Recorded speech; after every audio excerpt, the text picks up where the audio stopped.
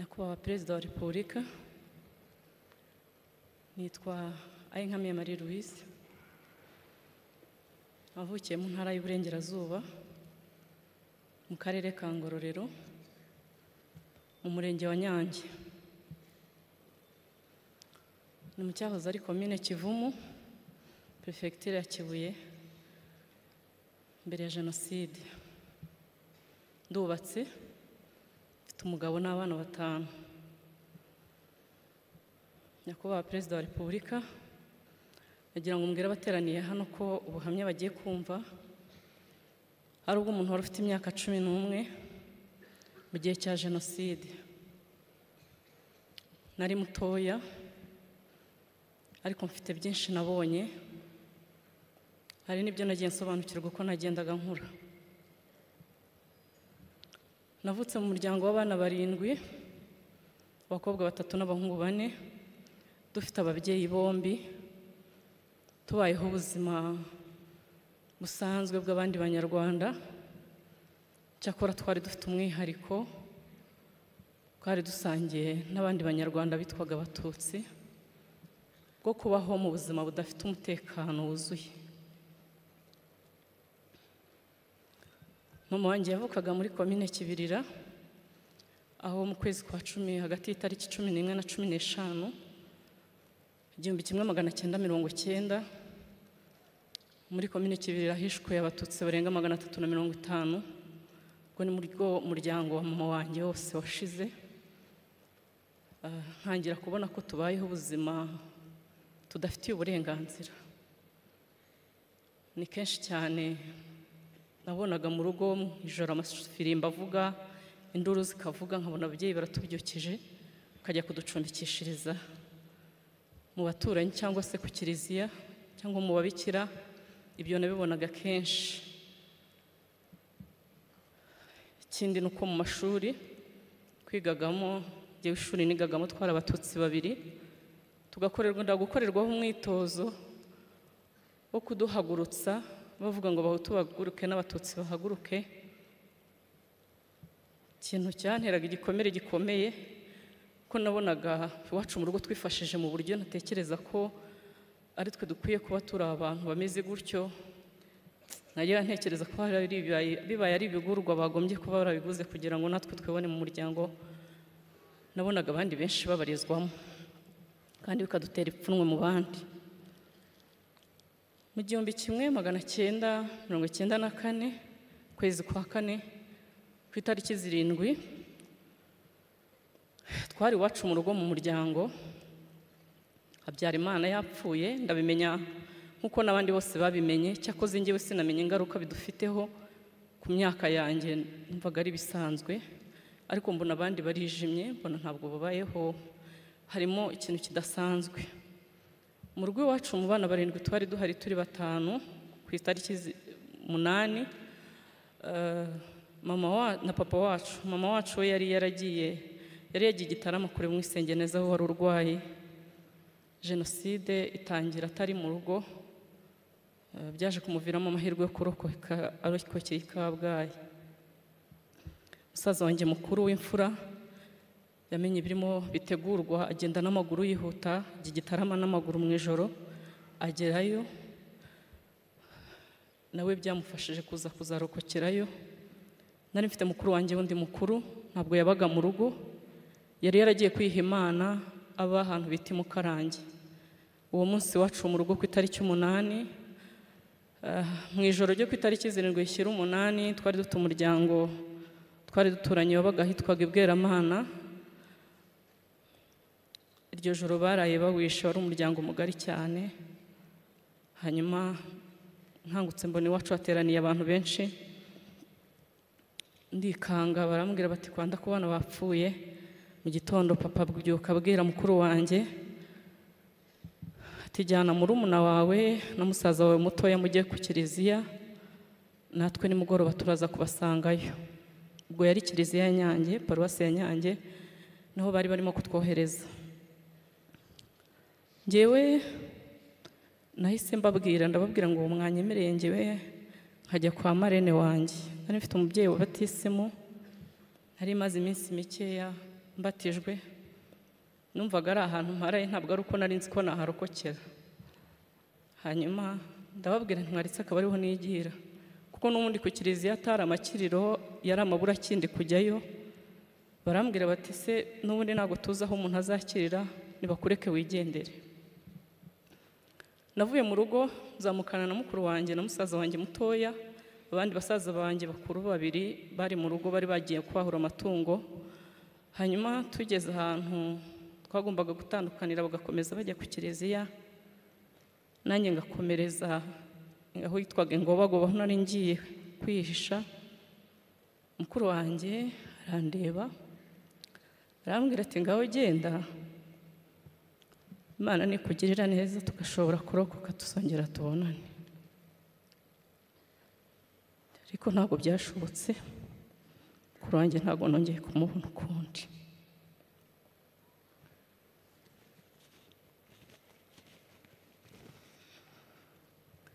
Yakomereje ku kiliziya. Na musaza wanjye mutoya. Njyewe nkomereza mu muryango nari ngiyemo. Mbere yuko nkomeza ubuzima nabayemo nari ngiye kamvuge gatoya urugendo rw'abarigiye ku kiliziya nubwo ntarindi ariko aho narindi makuru nayanamenyaga ndetse na nyuma dukomeza gukurikirana kugira ngo turebe ko hari umuntu yaba yararokoye nubwo bitadukundiraga kenshi twumvaga amakuru mabi y'urupfu bapfuye. Nashoboye kumenya ko bageze ku kiliziya nimugoroba ku munsi ukurikiye mukuru wanjye bari bashonje ajyana agasaza kanjye gatoya bajya mu babikira. Twari tuziranye kuko umuryango wabo niwo mukuru wanjye yari agiye kwihamo imana. Bagenda nk'abagiye gusaba ibyo kurya. Hanyuma mukuru wanjye arya urwara agasaza kanjye ngo katamukurikira bavayo. Agasaza kanjye kaje kurokoka ayo ni amakuru yo yambwiye nyine uko byagenze kugira ngo asigare ku babikira. Mukuru wanjye yasubiye ku kiliziya ubwo yari arimo na papa wanjye na basaza banjye babiri. Papa yagerageje kubashyira mu miryango ngo babahishe ariko ntibyakunda bahita babazana ku kiliziya nabo aho umugambi wo kubicira wari uteganyirijwe. Hanyuma babaye mu kiliziya bagerageza kwirwanaho uko bashoboye ntibyakunda kubera ko ku itariki cumi n'esheshatu z'ukwezi kwa kane ni bwo padiri seromba wari uyoboye kiliziya ya nyange yatanze uburenganzira bwo gusenya kiliziya yose kugira ngo bizere neza ko abatutsi bose bari bahungiyemo barangiye kwicwa. Kiliziya barayihiritse ubuzima bw'abacu bose burangirira aho ngaho.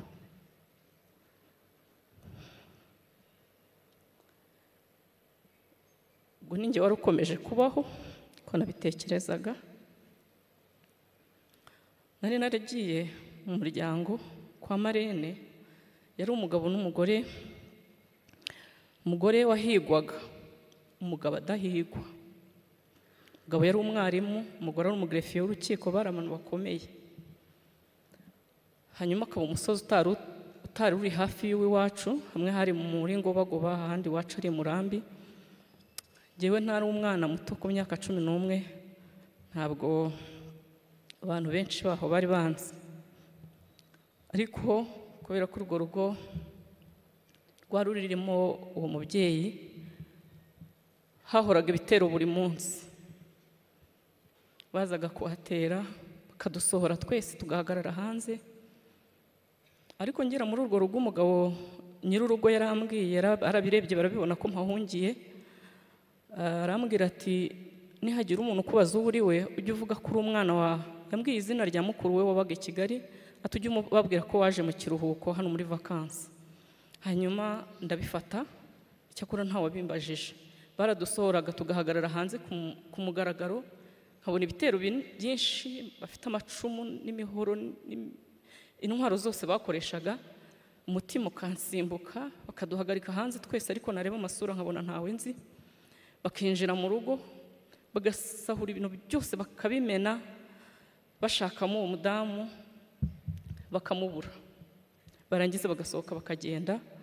Ah, urwo rugo ni urugo mfataho nk'intangarugero bagerageje guhisha umubyeyi wabo mu buryo bwose bushoboka. Iyo bamenyaga ko ibitero biri buze bararaga ijoro ryose bamugenza bakamubitsa ahantu hanyuma bwacya byagenda bakongera bakamugarura yaba ari mu rugo bakirirwa mu rugo aho ngaho bose abasore n'inkumi bagumagaho mu rugo nta kindi cya- cyabaga muri urwo rugo. Ubwo buzima twabubayemo hanyuma igihe kimwe barambwira bati ejo hazaza ibitero by'iwanyu by'umugabo bita ndungutse n'uwayoboraga ibitero by'iwacu. Baravuga bati nawe uyu munsi barakubona. Bampa umwana twari mu kigero kimwe ambyutsa nijoro nka saa kumi bamubwira ahantu anjyana. Twagenze urugendo nk'urw'amasaha nk'abiri n'amaguru hanyuma tugeze mu nzira batangiye gucya duhura n'uwo mubyeyi nari ngiyeho dusanga umubyeyi yikoreye amaboko ati abana banjye nanjye bamaze kubica ntaho mbajyana turakata dusubira inyuma turongera dukora urugendo rusubira mu rugo. Nageze mu rugo mbisikana n'ibitero bivuye gusaka mu rugo bisohoka nanjye nigerera mu yandi marembo. Ibyo bitero by'uwo munsi mbikira gutyo. Ubwo buzima tububamo tubumaramo amezi agera kuri abiri kwa kane kwa gatanu. Mu kwezi kwa gatandatu ntekereza ko ari bwo twatangiye kumva bavuga ngo abantu bahunze inkotanyi. Bati mugomba guhunga. Twatinze kuva mu rugo kuko umubyeyi twari tukiri kumwe yari akiriho twibaza aho tuzanyura. Ariko kugumamo na byo biba ikibazo kuko interahamwe zasubiraga inyuma zigenda zijya mu ngo zica abantu. Ndetse n'amagambo atangiye gukwira bati uyu muryango twarababwiye gukorana n'inkotanyi umurambo w'umugore twaramubuze twarawubuze banze no guhunga bakorana n'inkotanyi. Hanyuma nyir'urugo aratubwira ati mugende baduha ibintu dushobora kwitwaza ngewe bampa ikirago gishobora kuntwikira imbere n'inyuma hanyuma dukomeza urugendo rwo guhunga nk'abandi. Ariko ababyeyi b'urwo rugo ntabwo baje umugabo n'umugore baje ku munsi ukurikiyeho bageze ahantu bita ku rufungo bahasanga bariyeri. Umugabo n'umugore barabica.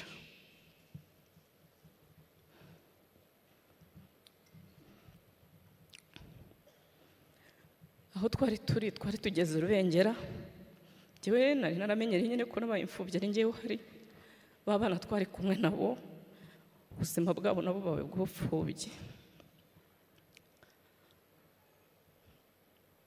hanyuma ah, aho twari turi rubengera baratubwira bati umukobwa mukuru wari usigaye muri urwo rugo ubwo ni wari usigaye nyine ayoboye abasigaye Ah, duhura n'umubikira bita mama yohani arambona aravuga ati uyu mwana ati hari musaza we ukiriho umukobwa baravugana aramubwira ati ese kureba n'ubundi natwe tutamerewe neza? Uyu nawe baza kumunyicana wamfashije nawe ukamujyana aho umusaza we ari umubikira aramfata anjyana ahantu hari imodoka y'abazungu b'abafaransa. Nsanga hari abandi bantu badupakira muri iyo modoka badutwikira nk'abatwikira imitwaro imodoka iragenda tugenda tutazi aho tuva n'aho tujya. Nza kwisanga tugeze ahantu hari ikigo cy'amashuri abanza bitaga ku rw'impiri. Aho hari icyo bita zone turikwazi mpageze badushyiramo nsanga barimo barandika abantu. Mu by'ukuri nagendaga ntazi aho ngiye. Abantu twari kumwe sinarinzi niba ari abatutsi cyangwa ari abahutu. Umuryango nari ndi kumwe nari maze kuwusiga. Umubikira wambwiye ngo ngende nawe ntiyaje. Na musaza wanjye akiriye sinashoboye kumubona. Noneho mbona mbayeho mu isi ntazi. Ntigera hirya nicara ahantu ku ibuye. Ntangira kurira. Umubyeyi umwanyuraho arambaza ati ese kuri kurira? Ndamubwira nti ese ubu ndabaheye arambwira ati hangana aho abandi bari bube nawe ni ho uri bube. Hanyuma nza kubona ko ubuzima ari aho bukomereje nza no kugira mugisha wo kumenya ko abo bantu ntiwamenya icyakubwiraga ibintu. Nza kumenya ko abo bantu turi kumwe aho ngaho n'abari abandi batutsi bakeya bashoboye kuzana nanjye bari guhunga bahungishirijwe aho ngaho. Twari ahantu hari impunzi nyinshi hakurya no hakuno ariko iryo shuri dusa n'abarimo turi abatutsi ku buryo twari dufite imbibi tutabasha kurenga uharenze interahamwe zitazimwica. Aho hantu twabahaye ubuzima bugeze mu byumweru bibiri hanyuma numva bari kumva amaradiyo bagize ibyishimo byinshi bati inkotanyi zifashe igihugu. Bati turatashye. Bavuze ngo turatashye umutima numva urongera urandiye ntangira kwibaza aho ngewe ntashye. Mu by'ukuri numvaga ari uri ku isi ngenyine mu bantu iwacu. Hanyuma buracya batwuriza imodoka baratubwira bati mugende. Twurira imodoka z'abafaransa turagenda cyakoze noneho ntabwo twagiye badutwikiriye. Twarabonaga hanze tuhareba hanyuma tugera ahantu badukuramo baratubwira ngo dukomeze imbere. Tuvamo dukomeza imbere twigiye imbere tubona imodoka ya gisirikare imodoka y'abasirikare b'inkotanyi twinjiramo inkotanyi ziratujyana. Icyo gihe igikorwa cyahabereye ntabwo ntabwo nashoboye gusobanukirwa icyo ari cyo cyakoze naje kumenya nyuma y'uko hari habayeho ubwumvikane hagati y'inkotanyi n'abafaransa kugira ngo bashobore kurekura impunzi z'abatutsi bari bafite kubaha perezida wa repubulika mwarakoze kudukurikirana no kudushakisha aho twari turi hose.